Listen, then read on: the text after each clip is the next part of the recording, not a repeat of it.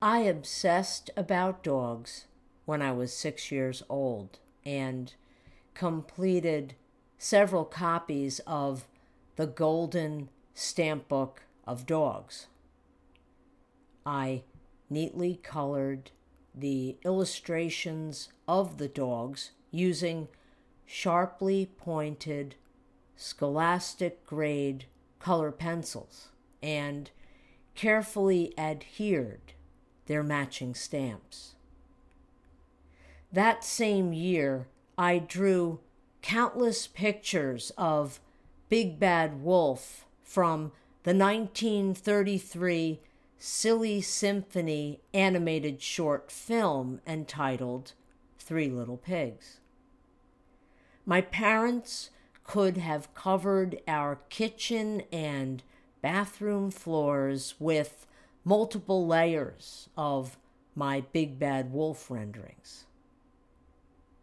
My third significant first grade obsession was the human body.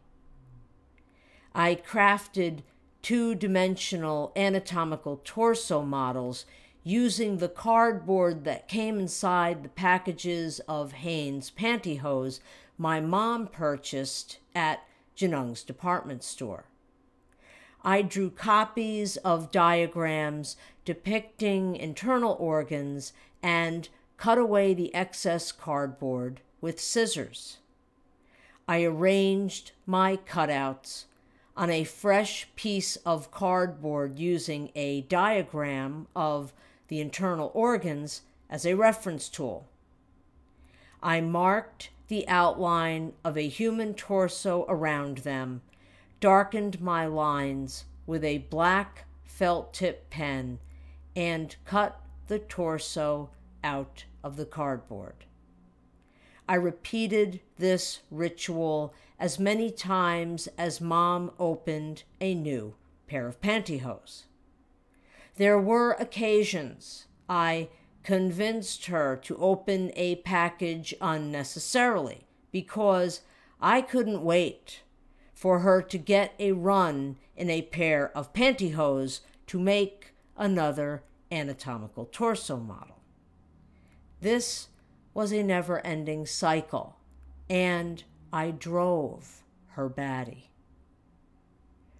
Four or five years later, I had my first planetarium experience at the Hudson River Museum in Yonkers.